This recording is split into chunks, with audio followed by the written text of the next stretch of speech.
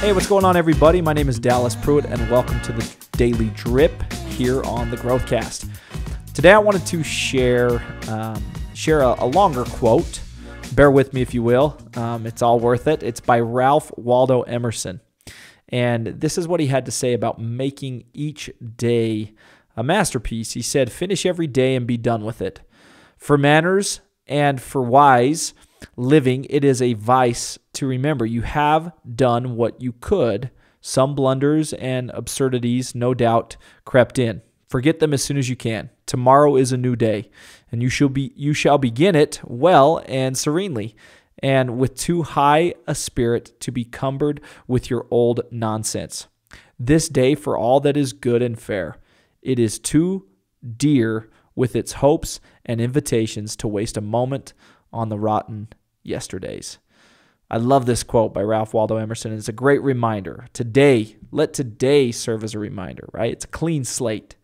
So many times we hold on to baggage from previous days, from previous efforts, from previous experiences, when we simply need to wipe the slate clean and move forward. Quit holding on to anger. Quit holding on to frustration. Quit holding on to negative thoughts. Quit holding on to limiting beliefs. Quit holding on to yesterday. Yesterday has gone and passed. Today is what we have.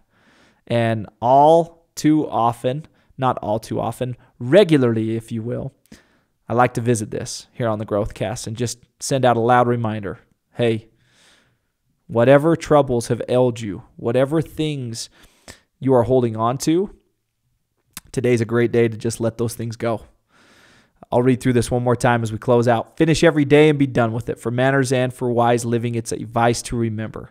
You have done what you could. Some blunders and absurdities no doubt crept in. Forget them as soon as you can. Tomorrow is a new day. You shall begin it well and serenely, and with too high a spirit to be cumbered with your old nonsense. This day, for all that is good and fair, it is too dear with its hopes and invitations to waste a moment on the rotten yesterdays. Let that be your mantra day in and day out. Clean slate, one step at a time.